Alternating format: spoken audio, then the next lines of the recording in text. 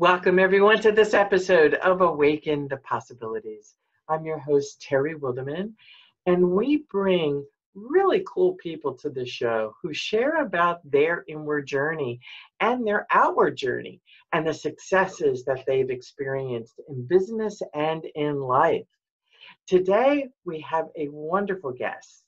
His name is Roman Mironov, and he's going to be sharing some very interesting tidbits about relationships. He is a relationship coach who lives in Toronto, Canada, and he helps people create amazing and enviable relationships. We can all use a little bit of that. Roman is all about teaching insanely actionable strategies that make relationships the number one source of happiness in his client's life. He has been into self improvement for over a decade and brings his best ideas and tools to people he works with. So I'd love to introduce you to Roman. Roman, how are you? Wow, after this kind of introduction, I'm I'm great. Um, great. How are you? I'm doing great. Thank you very much. Uh, welcome to the show. Really looking forward to hearing about your adventures and your inward journey. So I know from previous conversations that Toronto, Canada is not where you started out. How did you get there? Oh, yeah, n- not at all. Definitely. I, I lived in Russia in a pretty small small city back in Russia for uh-huh. 36 years.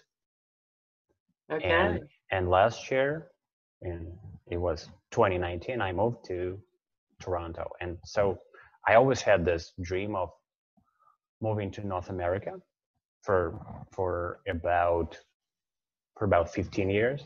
Yeah. And and finally my dream came true. Everything aligned. Yeah, yeah. And and the reason I I'm so passionate about North America is because I went to work there back in 2002 mm-hmm. and I went to work actually to Alaska and it was so different from Russia, so totally different that I, I, I loved it so much. So I decided, like on all levels, both on conscious level and unconscious level, that I this is a this is a place that I would like to live someday. So I'm curious, what took you to Alaska? well, th- that's that's an amazing story in it of itself. But basically, so I, I, was on a student exchange program and uh, i went to, to work there for summer. Yeah so that, that was about four months. So summer and september. And the reason wh- why i chose alaska or actually i think i should put it like this alaska chose me is because i i didn't have money to pay for you know for the program to find me a job. So mm-hmm. i had to find it myself and I spent four months looking for a job. And internet was not that available back then. Mm-hmm. And I had so I had such a hard time. I even had to pretend that I was a PhD student so that I could Yeah. By doing that I was able to sneak in the the the internet room for PhD students. So I 4 months I spent four four months and just no go at all. No replies from companies. So I was applying to various companies across the U.S. I didn't really care about which state it was, mm-hmm. and and really really just like a couple of weeks before this this whole thing could be over. I mean the the deadline was closing. So this guy from from Alaska from Anchorage he got back to me and, and very quickly he sent me a contract. That was that was one of the best experiences in my life. And what kind of work were you doing then? yeah. Well, very basic. I was making lunch boxes, just you know, packing them, mm-hmm. packing items in lunch boxes for tourists in a in a there is a, a huge a huge reserve which is called Denali National Park. Yeah. And uh, so yeah, I was packing lunches and uh, washing buses as well. There you go. All skill sets that we all need to use in our daily business. Right. we need to be able to do it all. Yeah, yeah. We yeah. need to do it all. So I'm curious, Roman, what was the biggest thing, the most important thing that you learned from that internship?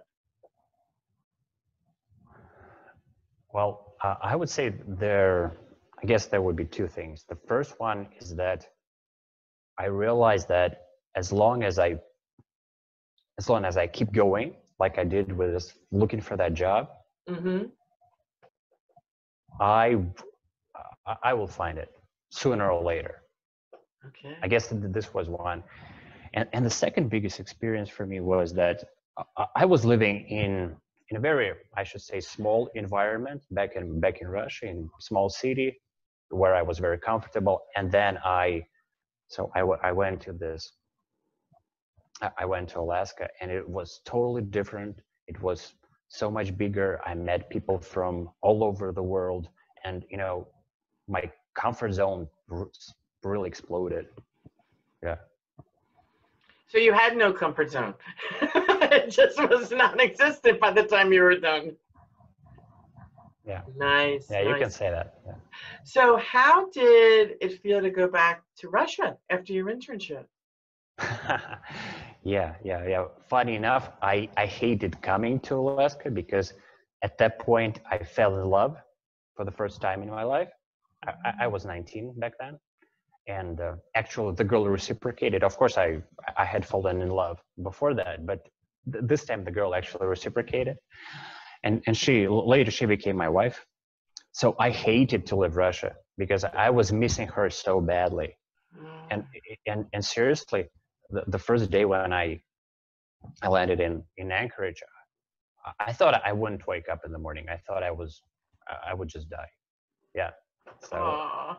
that was difficult. But you know going back home was also difficult because i i i went from you know from my my job place from from this denali national park i went to anchorage and spent three days in anchorage before you know departing on a plane to russia and those three days in those three days i started to miss my job so much that I was, I was almost crying. Yeah yeah I, I was missing it so badly. And what were you missing about it? well it was it was so much fun. It was you know those four months they were the, the best i guess at, at that point one of the best times in my life because you know i met so many new people. I spoke the language that i love every day the english language. I made money. I, seriously pr- pretty pretty good money mm-hmm. because in russia that was that was quite a lot. Yeah and then mm-hmm.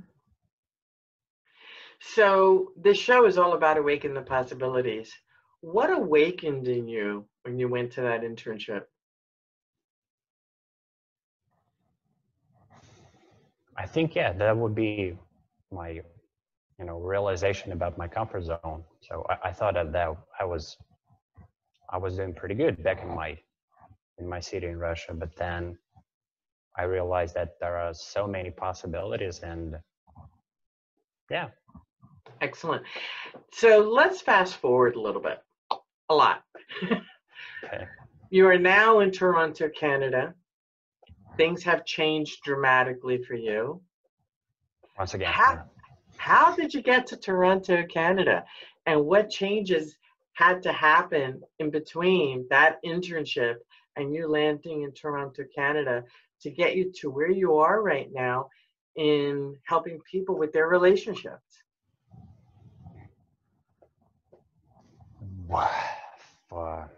Okay, I, I guess the first change was that I, in the meantime, I created my my business, and so I I now had financial security so that I could go to another country and start my life over there once again from scratch. So I had this, you know, financial security, which was good. And another thing that actually happened was that again I, I I applied myself really to this process because I, I wanted it so much i i worked on it i worked on it really hard so i did a lot of things and actually the first time i tried it was back in 2014 Which process are you talking about, Roman? i'm talking about setting a goal Mhm. creating a specific action plan and then taking taking those actions. Yeah, that's what I mean. Very, very cool. And that sounds to me, when it, there's a common word that we use here in Awaken the Possibilities, that sounds like a lot of courage had to be pulled in in order for you to make your changes. Well, yeah, yeah, I would agree. Yeah. So, how did it? So you went from um, Alaska back to Russia, then to Toronto. Why Toronto? Well, um, I would like, you know, I, I always thought that I would like to live in in the U.S. more specifically, but uh, th- there was a very good possibility in Canada because the program that I I went through in order to move to Canada to be a permanent resident, it was well, it was quite easy for me to do because the, the first time I tried to move to Canada was almost six years ago in 2014, and I got rejected. So my application for becoming a, a student back then it was rejected by by the embassy. So I I tried once again. I tried once again, yeah. And, you made it. I did, yeah. Thankfully. Thankfully.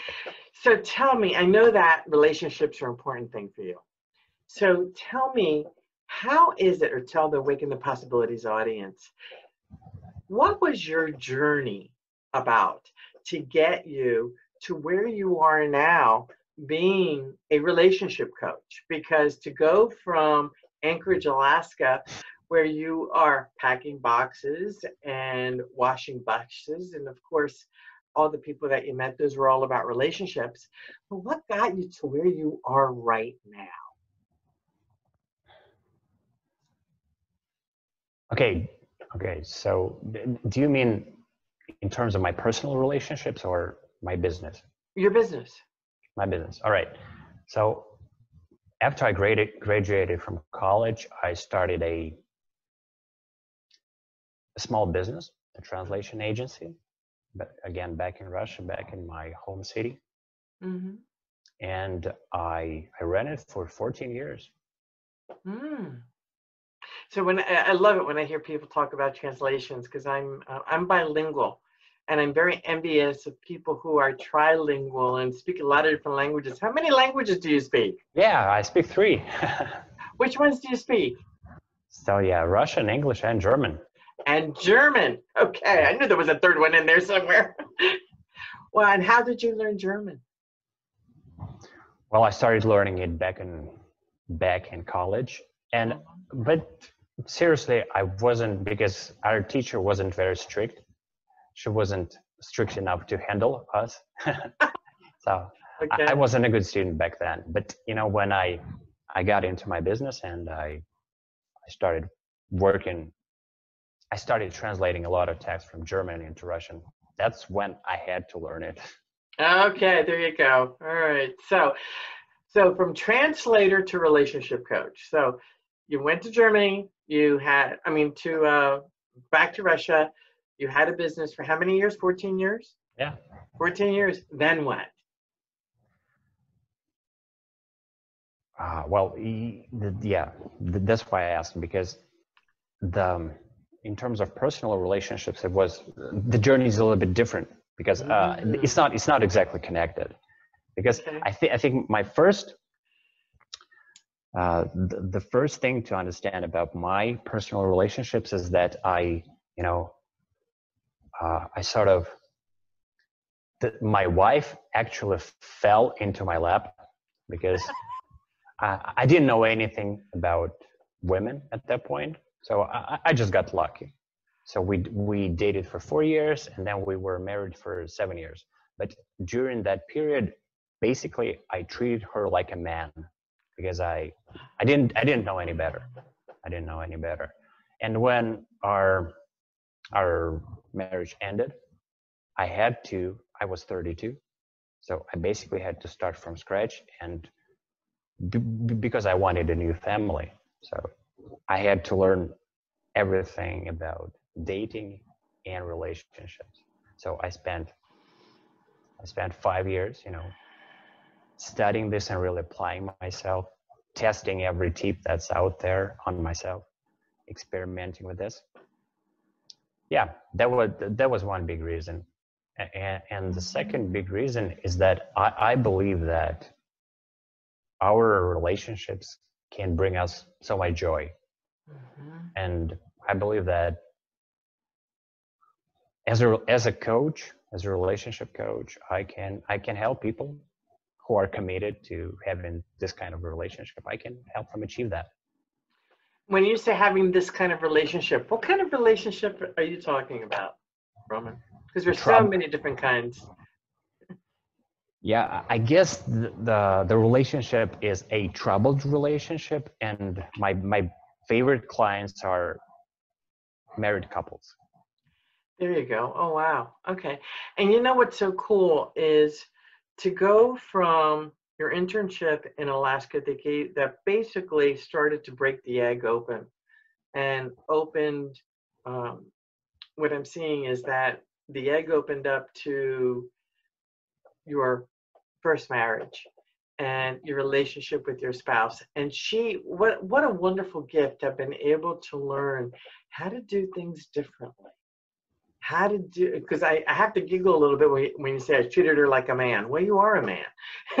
You know that's however what i'm seeing is that you really took it on to learn how to change certain behaviors and values and treat people differently Am I right with that?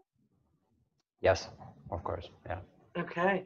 So that's huge. That is absolutely huge. But here's what I'm going to say you're still a man. that, that's not what I meant. I meant I, I treated her as, as if she she was a man. Oh, got yeah. it. Sorry, sorry about that. Yeah. Got to clear that one up. All right, if she was a man, yeah, that doesn't work. you bet.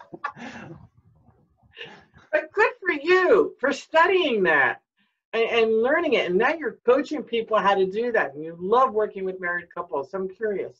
And, um, so in this business that you have crafted and cultivated, and uh, you had a business before for 14 years, and now you have this business where you're working on relationships with married couples. You know, business is business, but it's the kind of work that we do in each one that is that is different. And to be able to work with and help couples on their relationships that is such a charge can you tell me about that well you know can, can you give us an example of some of the with that, no names no none of that stuff but can you give us examples of some of the results that you've gotten in working with couples and helping them with their relationships and helping them awaken the possibilities in their own relationships. Yeah, well, one example that I like is, you know, this this man came to me and um, he he was he was really worried about that his wife would divorce him, and there were. I, I don't think there were any signs but you know there were some money involved in it. He was he was also afraid that he would when he when he got divorced with her he would lose money. So I, I guess that was his main concern. And so i i taught him you know even one tip that he got from me of course he got many but the, but the one that i love most is you know holding long conversations. Yeah it helped him a lot because you know by by talking to his wife more and engaging her more in these long conversations they they got connected on on such a deep level that i mean all his concerns were gone just just, just like that because you know he, she she she felt so so appreciated so connected to him that by seeing that he realized that no way she, she could leave him. Yeah. That's brilliant. That is brilliant. So, what are the tips that you have for the Awaken the Possibilities audience on keeping relationships fresh? wow, keeping relationship fresh. Well, the, the basic idea is to to always have surprise and novelty in your relationship. Because if you think about it, love and passion are two different things. Because you can love the person a lot, but it doesn't mean that you have attraction for them. Attraction, love is about connection, about feeling important, about feeling significant in a relationship. But passion is is um, it's all about being attracted to that person, and so the we feel attracted when we don't feel any responsibility for that person. We we feel that it's safe to love them. We feel we have the freedom to love them. We're not like a parent for them. We don't need to take care of them. So we do it, yeah, because we want to, but it's not our responsibility. We don't need that responsibility. And yeah, we need, we, we do need a lot of surprise and novelty. Actually, testosterone. Now I should put it like this: novelty it breeds testosterone. It helps increase testosterone. So that, that's that's very important. And in more practical terms, what I would recommend doing is that for example, let's take a married couple and um, go on a date, but make sure that you don't have any specific time to get back home. Because, for example, you might have a babysitter and you're supposed to get home at before 9 p.m. That's that's that's not the not the best. Mood killer. Is that what you're saying? yeah, yeah.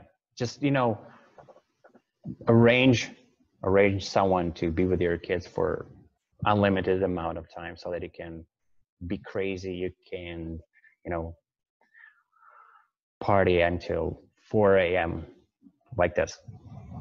Yeah. Got it. Got it got it got it. So i love how you're talking about the novelty and the excitement. That, that that's just so cool. Because for those of us who have been married for a long period of time the novelty can sometimes, oh, let's do something different there. Let's go out and do something. Now we're stuck together in the same house. So that's really interesting. That's novel. that's there's a lot of novelty there.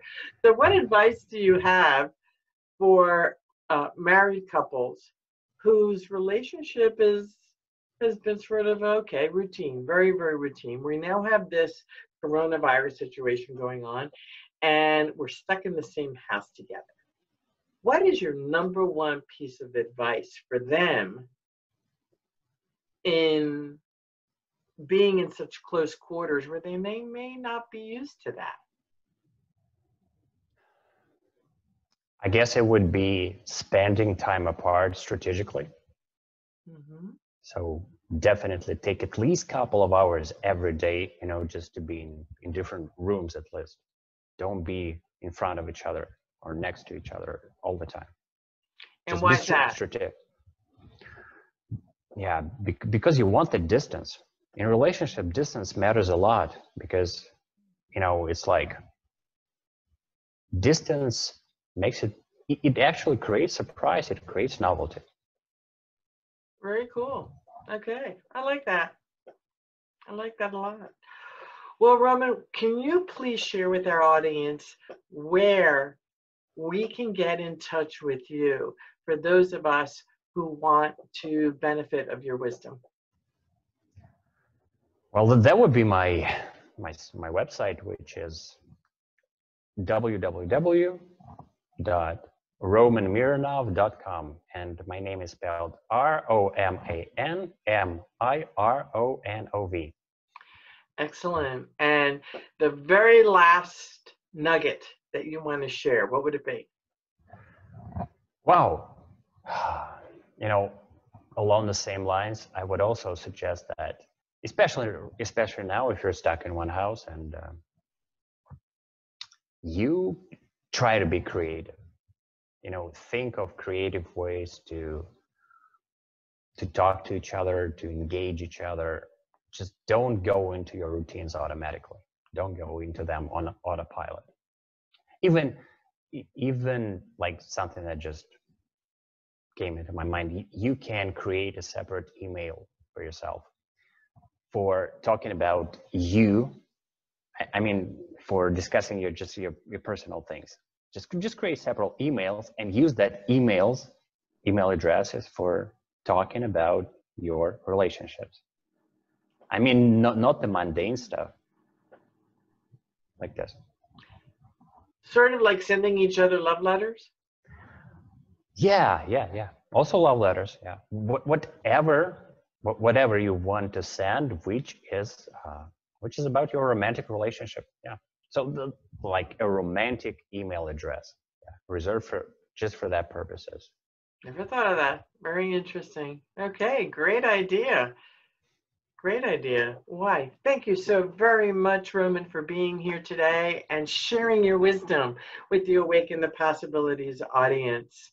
Ladies and gentlemen, I am your host, Terry Wildemann, and I would love for you to go to intuitiveleadership.com and take a look at our university that's coming up.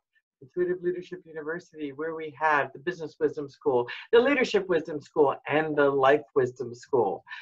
The first one to launch will be the Leadership Wisdom School. We have a super faculty that is attached to it, and we're going to be having some nice, juicy courses there to assist you in being the best that you can be from a leadership perspective. Also, please make sure to join my Facebook group, Awaken the Possibilities. And every week, come on back to awakenthepossibilities.com and listen to our newest show. So I'm Terry Wildemann, your host, and I look forward to seeing you on the next episode of awaken the possibilities. Take care and wish you your best week ever. Thank you.